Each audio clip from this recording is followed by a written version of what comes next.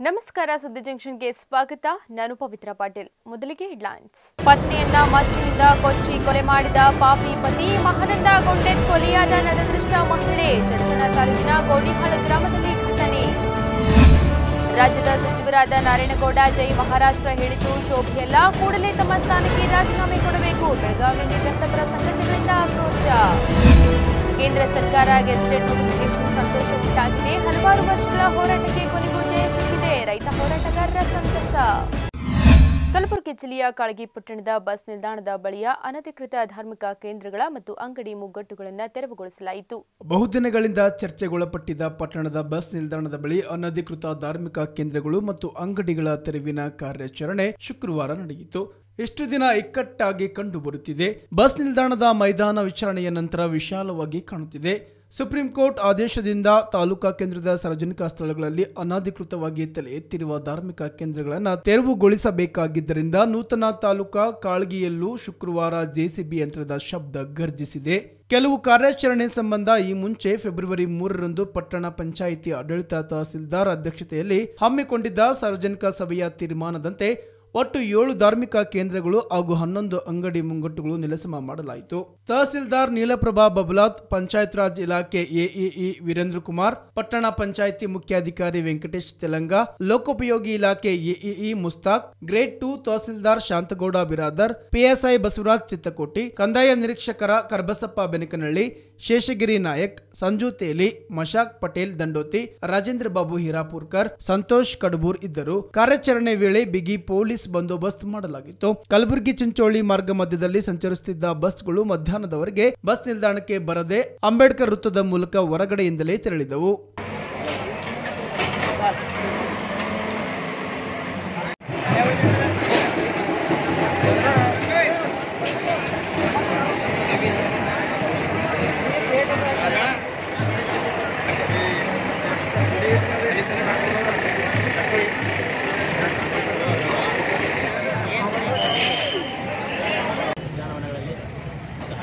ಅನಾಧಿಕೃತ ಸ್ಥಳ ತೆರವುಗೊಳಿಸುವ ಒಂದು ಸೂಚನೆ ಮೇರೆಗೆ ಇದು ಎಲ್ಲ ಒಂದು ಕಾಳಗಿ ಪಟ್ಟಣದ ಎಲ್ಲ ಸಾರ್ವಜನಿಕ ಸಹಕಾರ ಮೇರೆಗೆ ಇವತ್ತು ನಾವು ಸಾರ್ವಜನಿಕ ಉದ್ದೇಶದಂತೆ ತೆರವುಗೊಳಿಸ್ತಾ ಇದ್ದೀವಿ ಎಲ್ಲ ಪಟ್ಟಣದ ಎಲ್ಲ ಸಾರ್ವಜನಿಕರು ಸಹಕಾರ ಕಾಳಗಿ ಗ್ರಾಮ ಜನತೆ ತಿಳಿಬಾಗಿದ್ದೀವಿ ಇವಾಗ ನೀವು ಒನ್ ಒನ್ ಹಾಫ್ ಆನ್ ಅವರಲ್ಲಿ ಒನ್ ಅವರಲ್ಲಿ ಮೂರ್ತಿ ತೆಗೆದು ತೆಗೋ ತಗೋಬೋದಲ್ಲ ಸರ್ ತಕ್ಕೋಬೋದು ಸರ್ ಮತ್ತೆ ಅದೇ ತೆಗೆದುಕೊಳ್ಳಿ ಒಂದು half an ಅವ್ರು ಅದೇ ಹೇಳ್ಯಾರ ಒಂದು ಎರಡು ತಾಸು ಆಲ್ರೆಡಿ ಜನರೇಟರ್ ತಂದೀವಿ ಮಿಷಿನ್ ತಂದೀವಿ ನಾವು.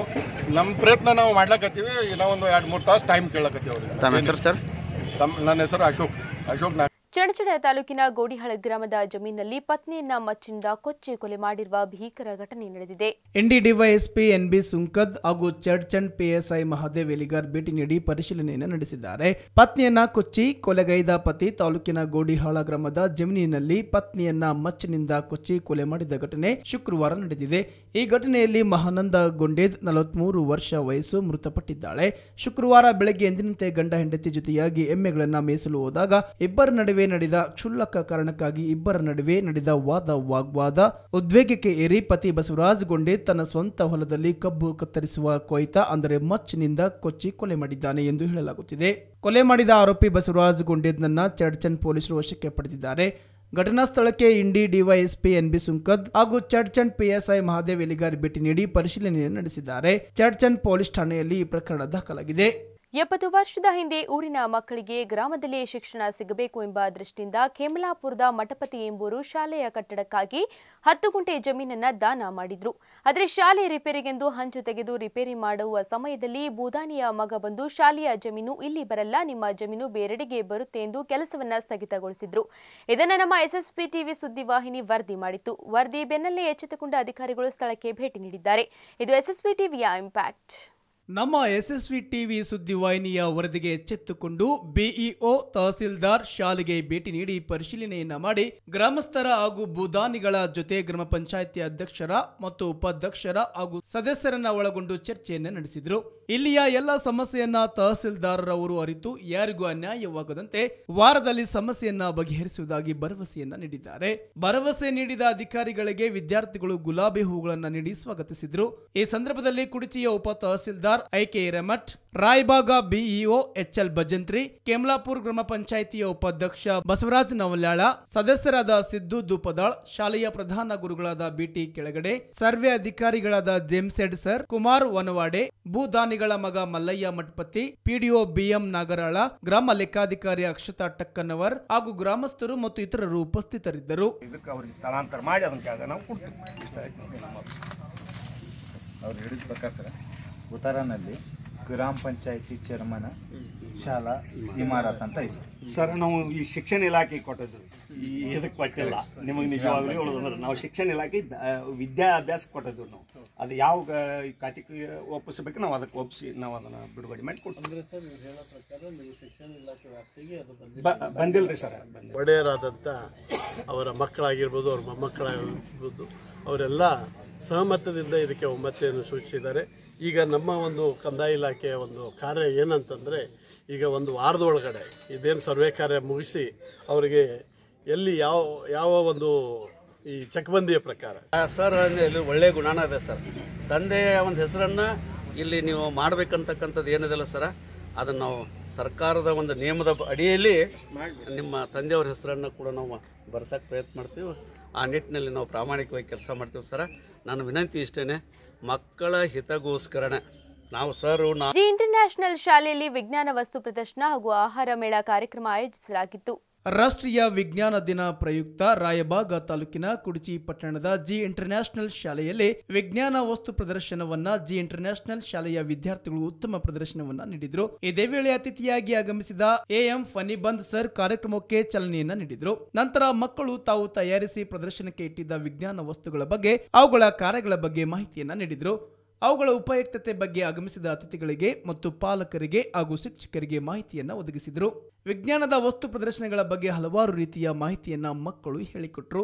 ಮತ್ತು ವಾಕ್ಚಿತ್ರತೆ ಹಾಗೂ ಅವರು ತಯಾರಿಸಿದ ವಿಜ್ಞಾನ ವಸ್ತು ಪ್ರದರ್ಶನಗಳನ್ನ ಎಲ್ಲರ ಮೆಚ್ಚುಗೆಗೆ ಪಾತ್ರರಾದರು. ರಾಷ್ಟ್ರೀಯ ವಿಜ್ಞಾನ ದಿನಾಚರಣೆಯ ಅಂಗವಾಗಿ ಆಯೋಜಿಸಲಾಗಿದ್ದ ವಿಜ್ಞಾನ ವಸ್ತು ಪ್ರದರ್ಶನದಲ್ಲಿ ಜಿ ಇಂಟರ್ನ್ಯಾಷನಲ್ ಕುಡಚಿಯ ಶಾಲಾ ವಿದ್ಯಾರ್ಥಿಗಳು ಅತ್ಯುತ್ತಮ ವಿಜ್ಞಾನದ ವಸ್ತುಗಳನ್ನ ತಯಾರಿಸಿ ಎಲ್ಲರ ಗಮನವನ್ನು ಸೆಳೆದರು ಈ ಕಾರ್ಯಕ್ರಮದಲ್ಲಿ ಇನ್ನೊಂದು ವಿಶೇಷ ಏನೆಂದರೆ ಮಕ್ಕಳಿಗೆ ವ್ಯವಹಾರ ಜ್ಞಾನ ಬೆಳೆಯಲೆಂದು ಆಹಾರ ಹಬ್ಬ ಎಂಬ ವಿಶೇಷ ಕಾರ್ಯಕ್ರಮ ಹಮ್ಮಿಕೊಂಡಿದ್ರು. ಶಾಲೆಯ ವಿದ್ಯಾರ್ಥಿಗಳು ತಮ್ಮ ಮನೆಯಿಂದಲೇ ಆಹಾರವನ್ನ ತಯಾರಿಸಿಕೊಂಡು ಬಂದು ಅತಿಥಿಗಳಿಗೆ ಮತ್ತು ಪಾಲಕರಿಗೆ ಹಾಗೂ ಗ್ರಾಮಸ್ಥರಿಗೆ ತಾವು ತಂದ ಆಹಾರವನ್ನ ಮಾರಾಟ ಮಾಡಿದ್ರು. ವಿದ್ಯಾರ್ಥಿ ಒಬ್ರು ವಡಾಪಾವ್ ಮಾಡಿಕೊಂಡು ಬಂದರೆ ಮತ್ತೊಬ್ಬರು ಮಸಾಲಾ ರೈಸ್, ಇನ್ನೊಬ್ಬರು ಗುಲಾಬ್ ಜಾಮೂನ್, ಹೀಗೆ ಹಲವಾರು ಮಕ್ಕಳು ವಿವಿಧ ರೀತಿಯ ಬೇರೆ ಬೇರೆ ತಿಂಡಿ ತಿನಿಸುಗಳನ್ನ ವಿಜ್ಞಾನ ವಸ್ತು ಪ್ರದರ್ಶನದಲ್ಲಿ ಮಾರಾಟ ಮಾಡಿದ್ರು. ಕಾರ್ಯಕ್ರಮಕ್ಕೆ ಅತಿಥಿಗಳಾಗಿ ಆಗಮಿಸಿದ AM Phanibandh sir, AT Gupte sir PA Gupte madam ಮತ್ತು ಮುಖ್ಯೋಪಾಧ್ಯಾಯರಾದ ಎ ಘಟಿಕೆ ಮೇಡಮ್ ವಿದ್ಯಾರ್ಥಿಗಳು ಮಾಡಿದ ವಿಜ್ಞಾನ ವಸ್ತು ಪ್ರದರ್ಶನವನ್ನ ವೀಕ್ಷಿಸಿ ವಿದ್ಯಾರ್ಥಿಗಳು ಮಾಡಿದ ತಿಂಡಿಗಳನ್ನ ಸವಿದು ವಿದ್ಯಾರ್ಥಿಗಳಿಗೆ ಹಾಗೂ ಶಾಲಾ ಆಡಳಿತ ಮಂಡಳಿ ಹಾಗೂ ಸಿಬ್ಬಂದಿ ವರ್ಗಕ್ಕೆ ಶುಭಾಶಯಗಳನ್ನ ತಿಳಿಸಿ ವಿದ್ಯಾರ್ಥಿಗಳ ಬೆನ್ನು ತಟ್ಟಿದ್ರು. ಈ ಕಾರ್ಯಕ್ರಮದಲ್ಲಿ ವಿದ್ಯಾರ್ಥಿಗಳ ಪಾಲಕರು ಹಾಗೂ ಶಿಕ್ಷಕ ಶಿಕ್ಷಕಿಯರು ಪಾಲ್ಗೊಂಡಿದ್ದರು.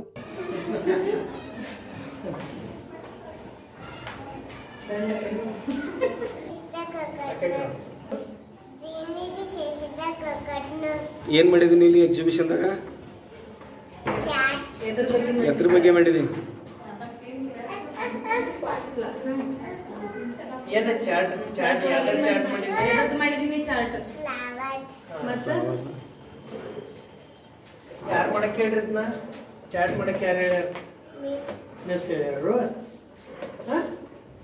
ಇರೋದು ಫುಡ್ ಫೆಸ್ಟಿವಲ್ ಫುಡ್ ಫೆಸ್ಟಿವಲಲ್ಲಿ ಮಕ್ಕಳಿಗೆ ವ್ಯವಹಾರ ಜ್ಞಾನ. ದಿನನಿತ್ಯ ಯಾವ ರೀತಿ ನಾವು ವ್ಯವಹಾರ ಮಾಡಬೇಕು ಯಾವ ರೀತಿ ನಮ್ಮ ಸಾಮಾನುಗಳನ್ನು ಮಾರಾಟ ಮಾಡಬೇಕು ಗ್ರಾಹಕರ ಜೊತೆ ಗ್ರಾಹಕರ ಜೊತೆಗೆ ಯಾವ ರೀತಿ ನಾವು ಸಂಪರ್ಕ ಹೊಂದಬೇಕು ಮಾತಾಡಬೇಕು ಅನ್ನೋದು ಜ್ಞಾನವನ್ನು ಉದ್ದೇಶ ಇಟ್ಟುಕೊಂಡು ಇಲ್ಲಿ ಜಿ ಇಂಟರ್ನ್ಯಾಷನಲ್ ಶಾಲೆಯಲ್ಲಿ ಕಾರ್ಯಕ್ರಮ ಹಮ್ಮಿಕೊಂಡಿದ್ದಾರೆ. ಇದರಿಂದ ನಮಗೆ ಭಾಳ ಅತಿ ಸಂತೋಷ ಆಗ್ತಾ ಇದೆ ಸರ್. ತಮ್ಮ ಹೆಸರು ಸರ್? ನಮ್ಮ ಹೆಸರು ಅಲ್ತಾಫ್ ಅಂತ ಸರ್.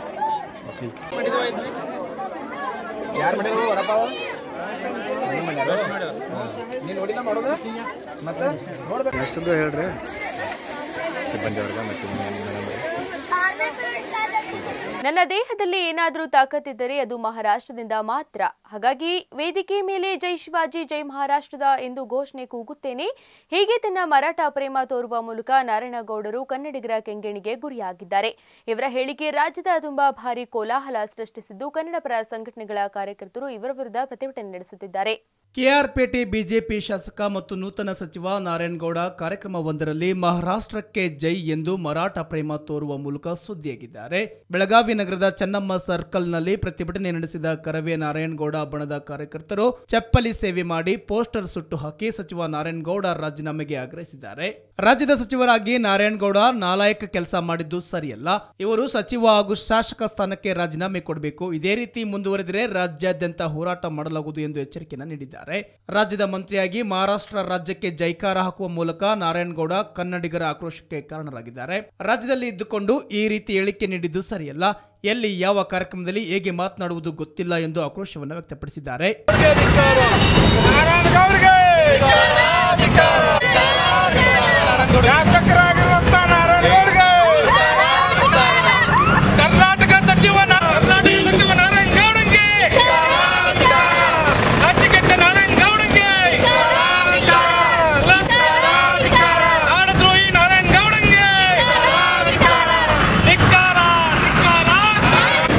ಬೆಂಕಿ ಹಚ್ಚಿ, ಸತ್ತು ಇವತ್ತು ಅಂತ ತಿಳ್ಕೊಂಡು ಇವತ್ತು ನಾವು ಸತ್ತಪ್ಪ, ಸತ್ತ ಅಂದ್ಕೊಂತ ಕುಂತು ಬಿಟ್ಟಿದ್ದೇವೆ.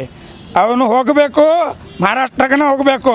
ನಮ್ಮ ಕನ್ನಡಿಗರು ಓಟ ತಗೊಂಡು, ಕನ್ನಡಿಗರು ಅನ್ನ ತಿಂದು, ಕನ್ನಡಿಗರು ನೀರು ಕುಡಿದು, ಕರ್ನಾಟಕದಲ್ಲಿ ಇರುವಂಥ ಎಲ್ಲ ಇದನ್ನ ಮಾಡ್ಕೊಂಡು ಮಹಾರಾಷ್ಟ್ರ ಜೈಕಾರ ಹಾಕ್ಯಾರ ಅವ್ರಿಗೆ ಏನು ಹೇಳಕ್ಕೆ ಸುಪ್ರೀಂ ಕೋರ್ಟ್ ಆದೇಶದಂತೆ ಕೇಂದ್ರ ಸರ್ಕಾರ ಅಧಿಸೂಚನೆ ಹೊರಡಿಸಿದ ಹಿನ್ನೆಲೆಯಲ್ಲಿ ಬೆಳಗಾವಿ ನಗರದ ಕನ್ನಡ ಸಾಹಿತ್ಯ ಭವನದಲ್ಲಿ ಕಳಸಾ ಬಂಡೂರಿ ಹೋರಾಟಗಾರರ ಸಭೆ ಮಾಡಿ ಸಿಹಿ ಹಂಚಿ ವಿಜಯೋತ್ಸವ ಆಚರಿಸಿದರು. ಕಿತ್ತೂರು ಚೆನ್ನಮ್ಮ ವೃತ್ತದಲ್ಲಿ ಸೇರಿದ ಕಳಸಾ ಬಂಡೂರಿ ಹೋರಾಟಗಾರರು ಹಾಗೂ ಕನ್ನಡ ಪರ ಸಂಘಟನೆಗಳು ಸಿಹಿ ಹಂಚಿ ಪರಸ್ಪರ ವಿಜಯೋತ್ಸವ ಆಚರಿಸಿದರು. ಹಲವು ವರ್ಷಗಳ ಮಹದಾಯಿ ಹೋರಾಟದ ಹಾದಿಗೆ ಇದೀಗ ಮೊದಲ ಹಂತದ ಜಯ ಸಿಕ್ಕಿದ್ದು, ಕಂಪನಿ ಸುರಿಯುತ್ತಿದ್ದ ರೈತನ ಮುಖದಲ್ಲಿ ಮಂದಹಾಸ ಮೂಡಿದೆ. ಕರ್ನಾಟಕ, ಗೋವಾ ಹಾಗೂ ಮಹಾರಾಷ್ಟ್ರದ ನಡುವೆ ಮಹದಾಯಿ ನೀರು ಹಂಚಿಕೆ ಕುರಿತು ಸುಪ್ರೀಂ ಕೋರ್ಟ್ನಲ್ಲಿ ಮಹತ್ವದ ಗೆಜೆಟ್ ಹೊರಬಿದ್ದಿದ್ದು ಕರ್ನಾಟಕಕ್ಕೆ ಜಯ ಸಿಕ್ಕಂತಾಗಿದೆ. ಇದರಿಂದ ಸಂತಸಗೊಂಡ ಕಳಸ ಬಂಡೂರಿ ಹೋರಾಟಗಾರರು ಬೆಳಗಾವಿ ನಗರದ ಚೆನ್ನಮ್ಮ ವೃತ್ತದಲ್ಲಿ ಪರಸ್ಪರ ಸಿಹಿಯನ್ನ ಹಂಚಿ ಸಂಭ್ರಮಾಚರಣೆಯನ್ನ ಆಚರಿಸಿದರು. ಈ ವೇಳೆ ರೈತ ಹೋರಾಟಗಾರ ಮೋದಗಿ ಮಾತನಾಡಿ, ಸುಪ್ರೀಂ ಕೋರ್ಟ್ ಆದೇಶದಂತೆ ಕೇಂದ್ರ ಸರ್ಕಾರ ಗೆಜೆಟೆಡ್ ನೋಟಿಫಿಕೇಶನ್ ಸಂತೋಷವನ್ನು ಉಂಟು ಮಾಡಿದೆ. ಕಳೆದ ಹಲವು ವರ್ಷಗಳಿಂದ ನಡೆದ ಹೋರಾಟದ ಫಲ ಸ್ವಲ್ಪ ಮಟ್ಟಿಗೆ ಖುಷಿ ನೀಡಿದೆ ಎಂದರು. ಕಳೆದ ನಾಲ್ಕು ದಶಕಗಳ ಹೋರಾಟದ ಪ್ರತಿಫಲವಾಗಿ ಇಂದು ಕೇಂದ್ರ ಸರ್ಕಾರ ಮಹದಾಯಿ ಗೆಜೆಟ್ ನೋಟಿಫಿಕೇಶನ್ ಹೊರಡಿಸಿದೆ ಹೊರತು ಇದರಲ್ಲಿ ಯಾವುದೇ ಶಾಸಕ, ಸಂಸದರ ಪ್ರಯತ್ನ ಇಲ್ಲ. ತಕ್ಕ ಮಟ್ಟಿಗೆ ಸಂಭ್ರಮ ಪಟ್ಟಿಲ್ಲ. ನಮ್ಮ ಜಿಲ್ಲೆಗೆ ಏಳು ಪಾಯಿಂಟ್ ಐವತ್ತಾರು ಟಿಎಂಸಿ ನೀರು ಬೇಕಾಗಿತ್ತು. ಆದರೆ ಸಿಕ್ಕಿದ್ದು ಮೂರು ಪಾಯಿಂಟ್ ತೊಂಬತ್ತು ಟಿಎಂಸಿ ಮಾತ್ರ ಎಂದು ಕನ್ನಡ ಪರ ಹೋರಾಟಗಾರರು ಅಶೋಕ್ ಚಂದರ್ಗಿ ಹೇಳಿದರು.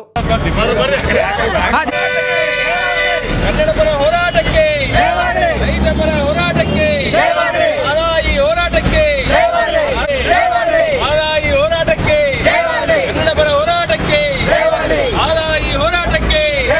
ಕುಡಿಯುವ ನೀರಿನ ಯೋಜನೆಗೆ ಕಳೆದ ಎರಡು ಸಾವಿರ ಹದಿನೆಂಟರಲ್ಲಿ ನ್ಯಾಯಮೂರ್ತಿ ಪಾಂಚಾಲ್ ಅವರ ಐತಿರ್ಮಲ್ಲಿ ನೀಡಿದ ಆದೇಶವನ್ನು ಎತ್ತಿ ಹಿಡಿದು ಇವತ್ತು ಕೇಂದ್ರ ಸರ್ಕಾರ ಸುಪ್ರೀಂ ಕೋರ್ಟ್ ಮುಖಾಂತರ ಇವತ್ತು ಆದೇಶವನ್ನು ಹೊರಡಿಸಿದ್ದು ಭಾಳ ಸ್ವಾಗತಾರ್ಹವಾದಂಥದ್ದು. ಇದು ಒಂದು ಕೂಡ ಈ ಭಾಗದ ರೈತರ ನ್ಯಾಯವಾದಿಗಳ, ಕನ್ನಡಪರ ಸಂಘಟನೆಗಳ ಹಾಗೂ ಪ್ರಗತಿಪರ ಚಿಂತಕರ, ಸಮಾಜ ಸುಧಾರಕರ ಹೋರಾಟಕ್ಕೆ ಚಂದ ಜಯ ಅಂತ ಭಾವಿಸ್ತಾ ಮುಂಬೈ ಕನ್ನಡ ಜನತೆ ವಿಶೇಷವಾಗಿ ತಿಳ್ಕೋಬೇಕು. ನಮಗೆ ಸಿಕ್ಕಿದ್ದು ಕೇವಲ ಮೂರು ಪಾಯಿಂಟ್ ತೊಂಬತ್ತು ಟಿ ಎಂ ಸಿ. ನಾವು ಮಹದಾಯಿ ಟ್ರಿಬ್ಯುನಲ್ ಕೇಳಿದ್ದು ಮೂವತ್ತಾರೂವರೆ ಟಿ ಎಂ ಸಿ ಕೇಳಿದ್ದೀವಿ. ನಮಗೆ ಸಿಕ್ಕಿದ್ದು ಹದಿಮೂರು ಟಿ ಎಂ ಸಿ ಅದರಲ್ಲಿ ಕುಡಿಯೋ ನೀರು ಸಿಕ್ಕಿದ್ದು ಮೂರು ಪಾಯಿಂಟ್ ತೊಂಬತ್ತು. ಕಳಸಾದಿಂದ ಒಂದು ಪಾಯಿಂಟ್ ಎಪ್ಪತ್ತೆರಡು ಬಂಡೂರಿಂದ ಎರಡು ಪಾಯಿಂಟ್ ಹದಿನೆಂಟು. ನಾವು ಇನ್ನೂ ಸುದೀರ್ಘ ಹೋರಾಟ ಐತೆ. ಇದರಿಂದ ನಾವು ತೃಪ್ತಾಗಿ ವಿಜಯೋತ್ಸವ ಆಚರಿಸಿ ಸಮಾಧಾನ ಪಡುವಂಥ ಸಂಗತಿ ಅದಲ್ಲ. ಯಾಕಂದ್ರೆ ನಾವು ಕೇಳಿದ್ದು ಏಳು ಪಾಯಿಂಟ್ ಐವತ್ತಾರು ಕುಡಿಯೋ ಟಿ ಎಂ ಸಿ ನೀರು ಕೇಳಿದ್ದೇವೆ.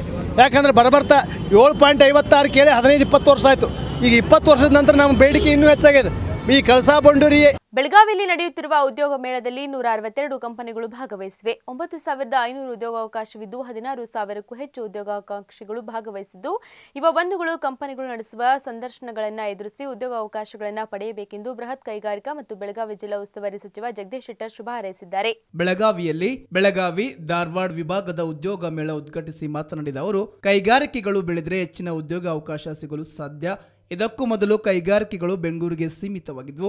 ಅನೇಕ ವಿರೋಧದ ಮಧ್ಯೆ ಹುಬ್ಬಳ್ಳಿಯಲ್ಲಿ ಬಂಡವಾಳ ಹೂಡಿಕೆದಾರರ ಸಮಾವೇಶ ನಡೆಸಿ ಉತ್ತರ ಕರ್ನಾಟಕದ ಎಲ್ಲ ಜಿಲ್ಲೆಗಳಿಗೆ ಬಂಡವಾಳ ಹೂಡುವಂತೆ ಉದ್ಯಮಿಗಳಿಗೆ ಹೆಚ್ಚಿನ ರಿಯಾಯಿತಿಗಳನ್ನು ನೀಡಿ ಬಂಡವಾಳ ಹೂಡುವಂತೆ ಉದ್ಯಮಿಗಳನ್ನು ಆಕರ್ಷಿಸಲಾಗಿದೆ. ಹುಬ್ಬಳ್ಳಿಯಲ್ಲಿ ನಡೆದ ಬಂಡವಾಳ ಹೂಡಿಕೆದಾರರ ಸಮಾವೇಶದಲ್ಲಿ ಎಪ್ಪತ್ತೆರಡು ಸಾವಿರ ಕೋಟಿ ರೂಪಾಯಿ ಬಂಡವಾಳ ಹೂಡಲು ಉದ್ಯಮಿಗಳು ಒಪ್ಪಂದ ಮಾಡಿಕೊಂಡಿದ್ದಾರೆ ಎಂದು ಜಗದೀಶ್ ಶೆಟ್ಟರ್ ಹೇಳಿದರು. ಬೆಳಗಾವಿ ಜಿಲ್ಲೆಯಲ್ಲಿ ಒಂದು ಸಾವಿರ ಕೋಟಿ ರೂಪಾಯಿ ಬಂಡವಾಳ ಹೂಡಲು ಹತ್ತು ಜನ ಉದ್ಯಮಿಗಳು ಒಪ್ಪಂದ ಮಾಡಿಕೊಂಡಿದ್ದಾರೆ.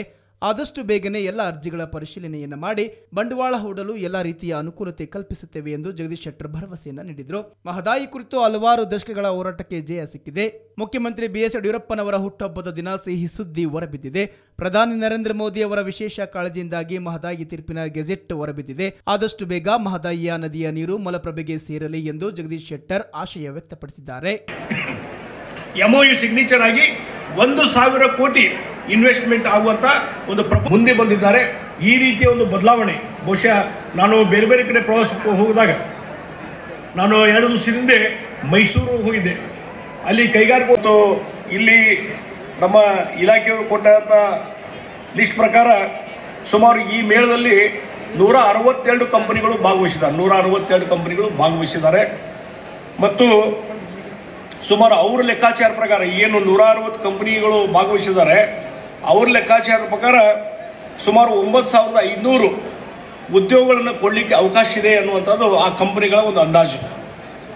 ಮತ್ತು ಅದರಲ್ಲಿ ಇಂಜಿನಿಯರಿಂಗ್ ಇರ್ಬೋದು, ಮಾರ್ಕೆಟಿಂಗ್ ಇರ್ಬೋದು, ಲಾಜಿಸ್ಟಿಕ್ ಇರ್ಬೋದು, ಹೆಲ್ತ್ ಕೇರ್ ಇರ್ಬೋದು, ಐ ಟಿ ಇರ್ಬೋದು, ಈ ರೀತಿಯಾದಂಥ ಬೇರೆ ಬೇರೆ ವಿಭಾಗಗಳಲ್ಲಿ ಇವತ್ತು ಆ ಕಂಪನಿಗಳಲ್ಲಿ ಅವಕಾಶ ಇದೆ ಅನ್ನುವಂಥದ್ದನ್ನೇ ಅವರು ಇಲ್ಲಿ ನಿಮಗೆ ತಿಳುವಳಿಕೆ ಕೊಡ್ತಾರೆ.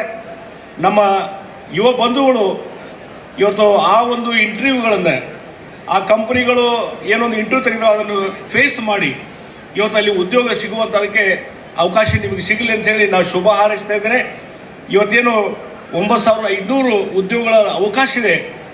ಅದು ಇದರಲ್ಲಿ ಗೋಕಾಕ್ ತಾಲೂಕಿನ ಸಾವಳಿಗೆ ಗ್ರಾಮದ ನಂದಗಾಂವ್ ಹೆಣ್ಣು ಮಕ್ಕಳ ಶಾಲೆಯಲ್ಲಿ ಗಣಕಯಂತ್ರ ಹಾಗೂ ಗ್ರಂಥಾಲಯದ ಉದ್ಘಾಟನಾ ಸಮಾರಂಭ ಜರುಗಿತು. ಈ ಕಾರ್ಯಕ್ರಮದ ಮುಖ್ಯ ಅತಿಥಿಗಳಾಗಿ ಜಿಬಿ ಬಳಿಗಾರ್ ಬಿಒ ಮತ್ತು ಎಂಬಿ ಪಾಟೀಲ್ ಮತ್ತು ಶಾಲೆಯ ಪ್ರಧಾನ ಗುರುಗಳಾದ ಬಿಎಚ್ ಕೋಲ್ಕಾರ್ ಹಾಗೂ ತಾಲೂಕಾ ಪಂಚಾಯಿತಿ ಅಧ್ಯಕ್ಷರು ಚಿದಾನಂದ ಶಿರಗಾಮಿ ಮತ್ತು ಧರ್ಯಪ್ಪ ಮಗುದುಂ ಸುರೇಶ್ ಗುಂತ್ಕಲ್ ಸತಿಗೌಡ ಪಾಟೀಲ್, ರಮೇಶ್ ಚಿಕ್ಕೋಡಿ, ಬಳಪ್ಪ ತಳವಾರ್ ಮತ್ತು ಶಾಲೆಯ ಗುರುಮಾತೆಯರು ಹಾಗೂ ಗುರುಗಳು ಈ ಕಾರ್ಯಕ್ರಮದಲ್ಲಿ ಉಪಸ್ಥಿತರಿದ್ದರು. ಇದೇ ಸಂದರ್ಭದಲ್ಲಿ ಬಿಒ ಆದ ಜಿಬಿ ಬಳಿಗಾರ್ ಅವರು ಮಾತನಾಡಿ ಮಕ್ಕಳಿಗೆ ತಿಳುವಳಿಕೆ ಮೂಡಿಸುವ ಬಗ್ಗೆ ತಿಳಿಸಿದರು. ಶಿಕ್ಷಣಾಧಿಕಾರಿಗಳು ಅಷ್ಟೊಂದು ಪ್ರೋತ್ಸಾಹದಾಯಕವಾಗಿ ನಿಂತಿದ್ದಾರೆ. ಈ ಬೆನ್ನಿನ ನೆರಳು ಯಾರಪ್ಪ ಅಂತಂದ್ರೆ ನಮ್ಮ ಮಲಬಣ್ಣವ್ರ ಸರ್ ಹಾಗೂ ನಮ್ಮ ಎಂ ಬಿ ಪಾಟೀಲ್ ಸರ್. ಯಾಕಂತಂದ್ರೆ ನಾವು ಎಷ್ಟೋ ಸಾರಿ ನಮ್ಮ ಕೊಲ್ಕಾರ್ ಸರ್ ಅವರು ನಮ್ಮ ಶಾಲೆಯ ಕಾರ್ಯಗಳಿಗೆ ಎಡೆಬಿಡದೆ ಸರ್, ನಮ್ಗೆ ಅದಾಗ್ಬೇಕ್ರಿ ಸರ್, ನಮ್ಗೆ ಇದಾಗ್ಬೇಕ್ರಿ ಅಂದಾಗ ಪ್ರತಿಯೊಂದನ್ನ ಒಬ್ಬ ತಂದೆ ತಾಯಿಗಳು ಯಾವ ರೀತಿ ತಮ್ಮ ಮಕ್ಕಳನ್ನ, ಮಕ್ಕಳ ಬೇಡಿಕೆಯನ್ನು ಆಲಿಸ್ತಾರಲ್ಲ ಆ ತೀರಿ, ಆ ರೀತಿಯಾಗಿ ಆ ಬೇಡಿಕೆಗಳನ್ನ ಆಲಿ ಆಲಿಸಿ ನಮಗ ಬೇಡಿಕೆಯನ್ನು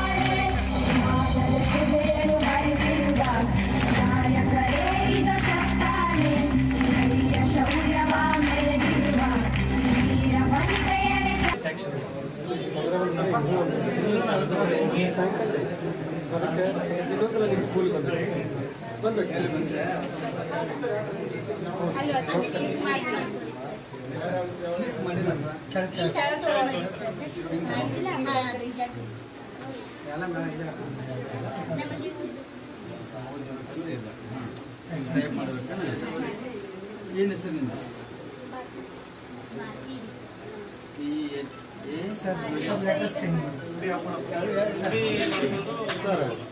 ಆಗಲಿ, ಆ ಪುಸ್ತಕಗಳನ್ನ ವ್ಯವಸ್ಥಿತವಾಗಿ ಜೋಡಣೆ ಮಾಡಲಿಕ್ಕೆ, ರ್ಯಾಕ್ಗಳನ್ನ ಎಲ್ಲ ವ್ಯವಸ್ಥೆ ಮಾಡಿಕೊಂಡು ಉತ್ತಮವಾಗಿರ್ತಕ್ಕಂಥ ಮಕ್ಕಳಲ್ಲಿ ಓದುವ ಹವ್ಯಾಸವನ್ನು ಹೆಚ್ಚು ಮಾಡುವಂತಹ ಒಂದು ಚಟುವಟಿಕೆಯನ್ನು ಮಾಡಿದ್ದಾರೆ. ಇದೇ ರೀತಿ ಶಾಲೆ ಪ್ರಗತಿಯತ್ತ ಸಾಗಲಿ ಹೆಚ್ಚಿನ ಹೆಚ್ಚಿನ ಪ್ರಗತಿಯನ್ನು ಕಾಣಲಿ ಅಂತಕ್ಕಂಥ ಹಾರೈಕೆಯೊಂದಿಗೆ ಎರಡು ಮಾತುಗಳು ಮುಗಿಸ್ತೀನಿ. ನಮಸ್ಕಾರ. ರಸ್ತೆ ಅಗಲೀಕರಣ ವಿವಾದದಲ್ಲಿ ಸಾರ್ವಜನಿಕರಿಂದ ದಿನಂಪ್ರತಿ ಕಿರುಕುಳ ತಾಳಲಾರದೆ ವಿಷ ಸೇವಿಸಿದ ಮಹಿಳೆ ಇಂಥದೊಂದು ಘಟನೆ ಬೆಳಗಾವಿ ಜಿಲ್ಲೆಯ ಚಿಕ್ಕೋಡಿ ತಾಲೂಕಿನ ಅಂಕಲಿ ಗ್ರಾಮದಲ್ಲಿ ನಡೆದಿದೆ. ಸಾವಿತ್ರಿ ಮಹಾವೀರ ಪಾಟೀಲ್ ನಲವತ್ತೆಂಟು ವರ್ಷ ವಯಸ್ಸು ವಿಷ ಸೇವಿಸಿದ ಮಹಿಳೆ. ಇವರಿಗೆ ಗೈರಾಣ ಜಗದಲ್ಲಿ ಮನೆ ಹಾಗೂ ಅಂಗಡಿ ನಿರ್ಮಾಣ ಮಾಡಿದ್ದಾರೆ ಎಂದು ಸಾರ್ವಜನಿಕರು ಅವರಿಗೆ ಕಳೆದ ಒಂದು ತಿಂಗಳಿನಿಂದ ಮಾನಸಿಕ ತೊಂದರೆ ಕೊಡುತ್ತಿದ್ದು ಇದರಿಂದ ಸಾವಿತ್ರಿ ಮಾನಸಿಕವಾಗಿ ಅಸ್ವಸ್ಥಗೊಂಡು ಕಳೆದ ಒಂದು ವಾರದಿಂದ ಅನಾರೋಗ್ಯದಿಂದ ಆಸ್ಪತ್ರೆಯಲ್ಲಿ ಚಿಕಿತ್ಸೆ ಪಡೆದುಕೊಳ್ಳುತ್ತಿದ್ರು. ನಿನ್ನೆ ಕೆಲ ಕಿಡಿಗೇಡಿಗಳು ನಿಮ್ಮ ಮನೆ ಹಾಗೂ ಅಂಗಡಿಯನ್ನ ಜೆಸಿಬಿ ಮೂಲಕ ಕಿತ್ತು ಹಾಕಲಾಗುವುದು ಎಂದು ಪಟಾಕಿಯನ್ನ ಸಿಡಿಸಿ ಸಾವಿತ್ರಿ ಮನೆ ಮುಂದೆ ಸಂಭ್ರಮ ಆಚರಣೆ ಮಾಡಿದ್ದಾರೆ.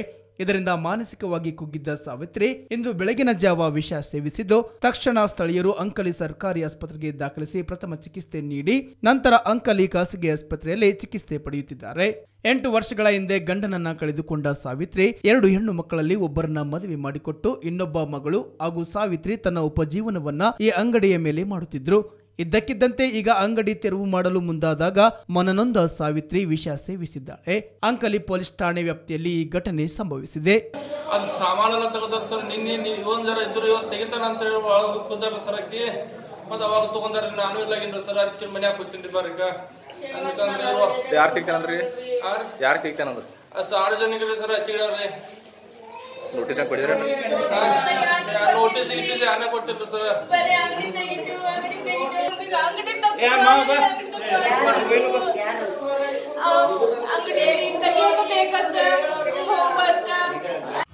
ಈಗ ನಿಮ್ಮ ತಾಯಿಯವ್ರ ಹೆಸರು ಏನ್ರಿ? ಸಾವಿತ್ರಿ ಮಹಾವೀರ್ ಪಾಟೀಲ್.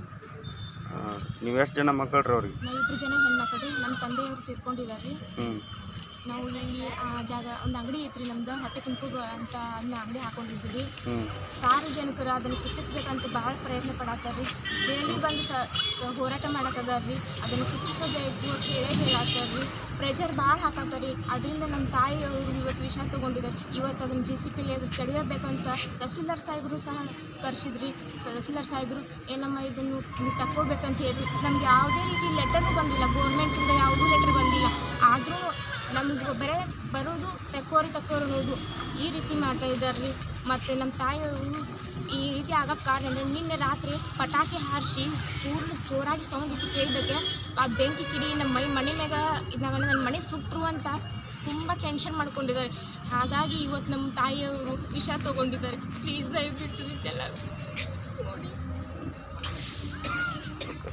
ನೀಲಮ್ಮನ ಬಳಗ ಹಾಗೂ ಬಸವಪರ ಸಂಘಟನೆಗಳ ವತಿಯಿಂದ ಜಾಗತಿಕ ಲಿಂಗಾಯತ ಮಹಾಸಭಾ ವೇದಿಕೆಯಲ್ಲಿ ಐದು ಜನ ಶರಣರ ಜಯಂತಿನ ಆಚರಿಸಲಾಯಿತು. ಹೌದು, ಕಲಬುರಗಿ ಜಿಲ್ಲೆಯ ಜೇವರ್ಗಿ ಪಟ್ಟಣದ ಸರ್ಕಾರಿ ಕನ್ಯಾ ಹಿರಿಯ ಪ್ರಾಥಮಿಕ ಶಾಲೆಯಲ್ಲಿ ನೀಲಮ್ಮನ ಬಳಗ ಹಾಗೂ ಬಸವಪರ ಸಂಘಟನೆಗಳ ಸಂಯುಕ್ತ ಆಶ್ರಯದಲ್ಲಿ ಜಾಗತಿಕ ಲಿಂಗಾಯತ ಮಹಾಸಭಾ ವೇದಿಕೆಯಲ್ಲಿ ಶರಣರಾದ ಚರಚಕ್ರವರ್ತಿ ಷಣ್ಮುಖ ಶಿವಯೋಗಿ, ಶ್ರೀ ಸೊನ್ನಲಗಿ ಸಿದ್ದರಾಮೇಶ್ವರ, ಮರುಳು ಶಂಕರ ದೇವರು, ಜೇಡರ ದಾಸಿಮಯ್ಯ, ಕಿನ್ನರಿ ಬೊಮ್ಮಯ್ಯ ಈ ಐದು ಜನ ಮಹಾನ್ ಶರಣರ ಜಯಂತಿಯನ್ನ ಆಚರಿಸಲಾಯಿತು. ಮಾಜಿ ವಿಧಾನ ಪರಿಷತ್ ಸದಸ್ಯರಾದ ಅಲ್ಲಮಪ್ರಭು ಪಾಟೀಲ್ ಅವರು ಉದ್ಘಾಟಿಸಿ ಕಾರ್ಯಕ್ರಮಕ್ಕೆ ಚಾಲನೆಯನ್ನ ನೀಡಿದರು. ನಂತರ ಕಾರ್ಯಕ್ರಮವನ್ನ ಉದ್ದೇಶಿಸಿ ಮಾತನಾಡಿ, ಡಾಕ್ಟರ್ ಬಾಬಾ ಸಾಹೇಬ್ ಅಂಬೇಡ್ಕರ್ ಅವರು ಬರೆದಂತಹ ಸಂವಿಧಾನದ ವಿಚಾರಗಳನ್ನ ಶರಣರು ಹನ್ನೆರಡನೇ ಶತಮಾನದಲ್ಲಿ ಪ್ರತಿಯೊಬ್ಬ ಜನಸಾಮಾನ್ಯನಿಗೂ ತಲುಪುವ ಹಾಗೆ ವಚನಗಳ ಮೂಲಕ ನೀಡಿದ್ದಾರೆ ಎಂದು ಹೇಳಿದರು. ನಂತರ ಚಿಗರಹಳ್ಳಿ ಮರುಳು ಶಂಕರ ದೇವರ ಪೀಠಾಧಿಪತಿಗಳಾದ ಸಿದ್ಧ ಕಬೀರಾನಂದ ಸ್ವಾಮಿಗಳು ಮಾತನಾಡಿ, ಬಸವ ತತ್ವ ಪಾಲಿಸುವವರು ಕಠೋರ ಘನಘೋರ ನಿಯಮಗಳನ್ನ ಪಾಲಿಸುವುದಿಲ್ಲ. ನೀವು ಬದುಕುವ ಜೀವನದಲ್ಲಿ ಉತ್ತಮ ಬದುಕುವ ರೀತಿಯನ್ನ ಬಸವ ತತ್ವ ಎನ್ನುವರು. ಹಾಗೆಯೇ ಶ್ರದ್ಧೆಯೇ ಕಾಯಕವೇ ನಿಜವಾದ ಲಿಂಗ ಪೂಜೆ ಎಂದವರು ಬಸವಣ್ಣ, ಅದುವೇ ನಿಜವಾದ ಬಸವ ತತ್ವ ಎಂದು ಹೇಳಿದರು. ಎಚ್ ಬಿ ಪಾಟೀಲ್ ಅವರು ಅನುಭವದ ನುಡಿಗಳನ್ನ ಹೇಳಿದರು. ಹಾಗೆ ಲಿಂಗೈಕ್ಯ ಶರಣ, ಕರಣಪ್ಪ ಗೌಡ ಪಾಟೀಲ್, ಕಟ್ಟಿ ಸಂಗಾವಿ ಅವರ ಸ್ಮರಣೋತ್ಸವದ ನಿಮಿತ್ತ ಕಾರ್ಯಕ್ರಮಕ್ಕೆ ದಾಸೋಹ ವ್ಯವಸ್ಥೆಯನ್ನ ಮಾಡಲಾಗಿತ್ತು. ಈ ಕಾರ್ಯಕ್ರಮದಲ್ಲಿ ಸಂಗನಗೌಡ ಪಾಟೀಲ್, ವಿಶ್ವನಾಥ್ ಡೊಣ್ಣೂರ್, ಮಹಾನಂದ ಹುಗ್ಗಿ, ದೇವೇಂದ್ರಪ್ಪ ಶರಣಬಸವ, ಕಲಾ ಪಾಟೀಲ್, ಭೀಮಶಂಕರ್, ವೀರೇಶ್ ಇತರರು ಇದ್ದರು. ಆಡಂಬರ ಬದುಕು ನಮ್ಮ ಶರಣರದಾಗಲಿಲ್ಲ. ಬಸವಣ್ಣವ್ರು ಹೇಳ್ತಾರೆ, ಕಾಯಕ ಯಾವುದನ್ನ ಮಾಡಪ್ಪ? ಚಪ್ಪಲಿ ಹೊಲೆ ಕಾಯಕ ಸಹಿತ ಲಿಂಗ ಪೂಜೆಗೆ ಸಮಾನ ಅಂತ ಹೇಳಿದವರು ನಮ್ಮ ಬಸವಾದಿ ಪ್ರಮತರು ನಮ್ಮ ಬಸವಾದಿ ಪ್ರಮತರು ನೀನು ಕೆಲಸ ಮಾಡ್ಕೊಂತಾನೆ ಇರು, ಸತ್ಯ ನುಡ್ಕೊಂತಾನೆ ಇರು. ಇವತ್ತು ಸತ್ಯ ನುಡಿದೆ, ಆಯ್ತಲ್ರಿ, ನಿನ್ನೆ ನುಡಿದಿನಲ್ರಿ, ವೇದಿಕೆ ಮೇಲೆ ನಿಂತಾಗ ಚಂದ ಮಾತಾಡಿನಲ್ರಿ, ಆಯ್ತು ಅಂತ ಹೇಳಿ ಮತ್ತೆ ಇದ್ದಲ್ಲೇ ಇರೋ ಸಿದ್ದೇಶ್ವರ ಅಂದ್ರೆ ಅದು ಬಸವ ತತ್ವ ಆಗೋದಿಲ್ಲ ಎಷ್ಟು ನುಡಿತೀಯೋ, ಎಷ್ಟು ಸತ್ಯದ ಪಥದ ಮೇಲೆ ನಡೀತೀಯೋ, ಅದು ನಿಜವಾದ ಬಸವಣ್ಣನ ತತ್ವ ಅನುಯಾಯಿಗಳು ಅಂತ ಅನಿಸ್ಕೊಳ್ಳಿಕ್ಕೆ ಸಾಧ್ಯ ಇದೆ ಬಹಳಷ್ಟು ಗದ್ದಲ ಮಾಡ್ಕೊಳ್ಳೋದಲ್ಲ. ಇವತ್ತು ನನಗೆ ವಿಚಾರಗಳು, ವಚನ ಸಾಹಿತ್ಯದ ಮೂಲಕ ನಮಗೆ ಕೊಟ್ಟಿರ್ತಕ್ಕಂಥ ಸಂದೇಶ, ಸತ್ಯಕ್ಕೆ, ಸಂವಿಧಾನಕ್ಕೆ ಡಾಕ್ಟರ್ ಬಾಬಾ ಸಾಹೇಬ್ ಅಂಬೇಡ್ಕರ್ ಅವರು ಸಂವಿಧಾನದಲ್ಲಿ ಏನು ಬರೆದಿದ್ದಾರೆ, ಅದಕ್ಕೆ ಸಮೀಪವಾಗಿರ್ತಕ್ಕಂಥ ಮಾತುಗಳನ್ನು ಈ ಸಮಾಜಕ್ಕೆ ತಮ್ಮದೇ ಆದಂಥ ಕೊಡುಗೆಯನ್ನು ಕೊಟ್ಟು ಹೋಗಿದ್ದಾರೆ. ಬೇರೆ ವಿಷಯವನ್ನ ಏನಾದರೂ ಒಂದು ವಿಚಾರ ಇಟ್ಟುಕೊಂಡು ಹೇಳಿರ್ತಕ್ಕಂಥ ಯಾವ ಉದ್ದೇಶವನ್ನು ವಚನ ಸಾಹಿತ್ಯದಲ್ಲಿ ಇಲ್ಲ. ವಚನ ಸಾಹಿತ್ಯದಲ್ಲಿ ಈ ಸಮಾಜದಲ್ಲಿ ಇರ್ತಕ್ಕಂಥ ವಿಶ್ವದಲ್ಲಿರ್ತಕ್ಕಂಥ ಜನಾಂಗ ಯಾವ ರೀತಿ ಹೋಗಬೇಕು, ಯಾವ ರೀತಿ ನಡಿಬೇಕು, ಧರ್ಮಗಳು ನಾವೇ ಮಾಡಿಕೊಂಡಿರ್ತಕ್ಕಂಥ ಧರ್ಮಗಳು, ನಾವೇ ಹುಟ್ಟಿಸಿರ್ತಕ್ಕಂಥ ಧರ್ಮಗಳು, ನಾವೇ ಕಟ್ಟಿರ್ತಕ್ಕಂಥ ಜಾತಿ ವ್ಯವಸ್ಥೆ. ಇದಾಗಿತ್ತು ಸುದ್ದಿ ಜಂಕ್ಷನ್, ಹೀಗೆ ನೋಡ್ತಾ ಇರಿ.